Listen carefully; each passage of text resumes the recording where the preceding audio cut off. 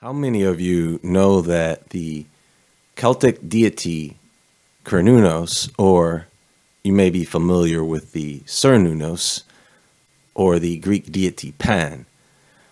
How many of you know that this is another god of cycles?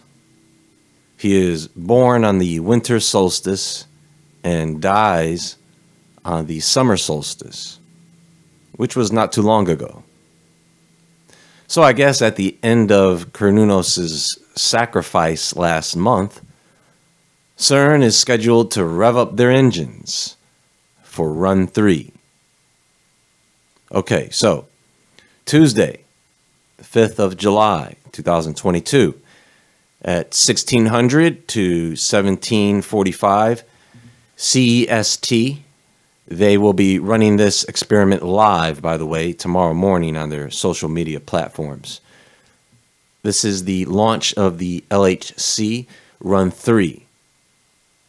A mere day after the 10th anniversary of the discovery of the Higgs boson celebrations at CERN, the LHC will make the promise of a bright future for Higgs research a reality breaking a new energy world record of 13.6 trillion electron volts. In its first stable beam collisions, these collisions will mark the start of data taking for the new physics season called Run 3. So, look, they're going to be having some meetings, some conferences, and a few ceremonies. This is kind of a big deal to them, and so after our fireworks here in the States, CERN is going to have their own fireworks. So, first of all, nobody's opening any portals. Okay? There are portals all over the place, and you don't need a multi billion dollar machine to open them. They are dissecting or splitting open particles that would not exist if they didn't have the collisions. So they admit to this black hole concept, which isn't really what it is because black holes, they don't know what those are either. Nobody's bringing demons over to this world. They are already here. You've been living with them your whole life. Yes, actual beings.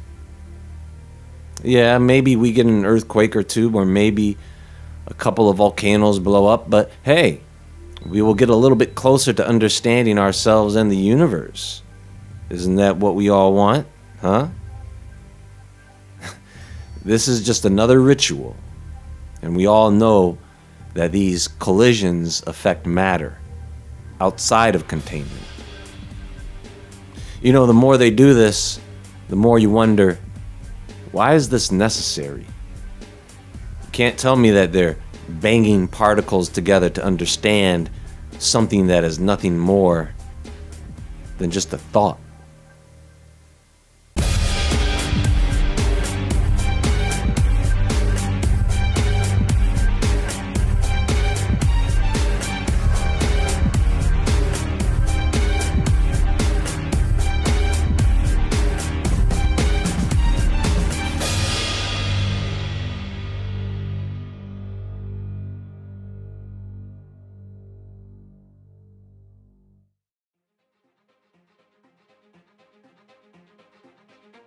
Am I right, folks? This is all based on the theory of the Big Bang. A theory they have never been able to even complete. So, no, they are not doing all this for that stupid reason. So, you should know that the LHC, Large Hadron Collider, has been back up and running since April. They've been colliding protons at 450 billion electron volts, but since then, they have been preparing with all the upgrades on machinery, upgrades on the computer systems at the detectors, upgrades to the complex. They have been preparing to run with more power. This will increase the number of collisions, which will increase the amount of antimatter produced.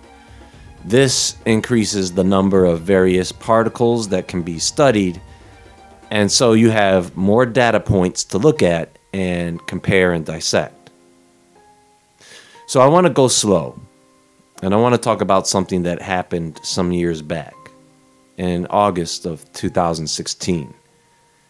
And that is the mock ritual sacrifice that took place on the CERN campus in front of the statue of Shiva. Now, whether this ritual was fake or real, it happened on their property. And they said, oh, well, we have so many different people who come here from all over the world. Some people just took a prank a little too far, that's all. Nothing to see here. And then everybody said, okay.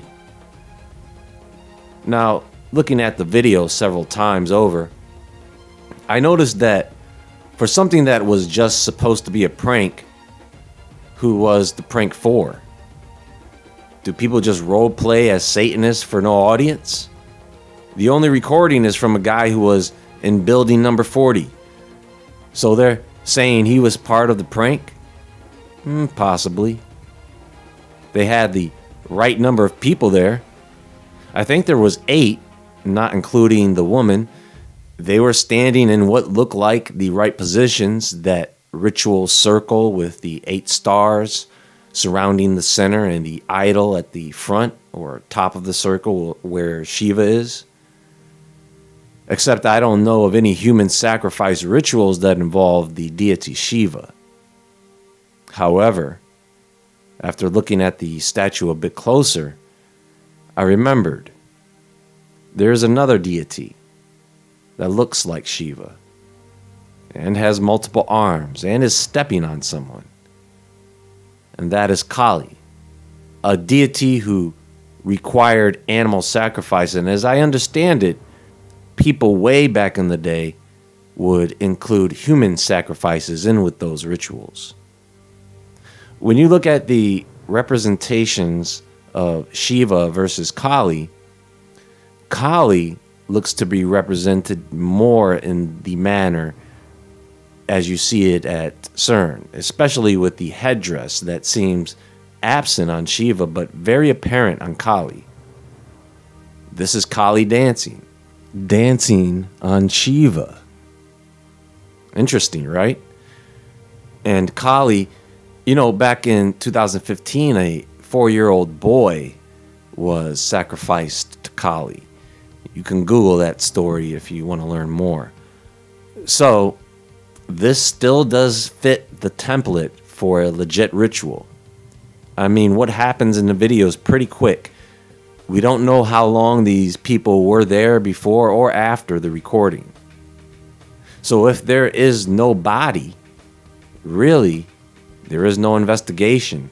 And for eight or nine people, or even 10 people, including the cameraman in the building, that is a whole lot of people to get in on a prank and get robes for everybody and a fake knife that tugs at the clothing as you pull away. You know, when you actually stick a knife into something and pull it out, it tugs on the fabric or material that it was stuck into. Just saying. This ritual can be looked as being just as real as it is fake because there is no body and no one identified. So here we are. Do you guys remember CERN's witch experiment? Huh? Yeah. Witch hunt nearing end at CERN. For Halloween, meet CERN's very own witch experiment at ISOLDE as it nears the end of its data analysis. This was published October 30th, 2015. This witch's lair is the ISOLDE facility, which produces a variety of radioactive ion beams for many experiments in the fields of nuclear and atomic physics, solid state physics, materials science, and life sciences. The unique source of low energy beams allows scientists to study the rarest atomic nuclei. More than 450 researchers are currently working on about 90 experiments.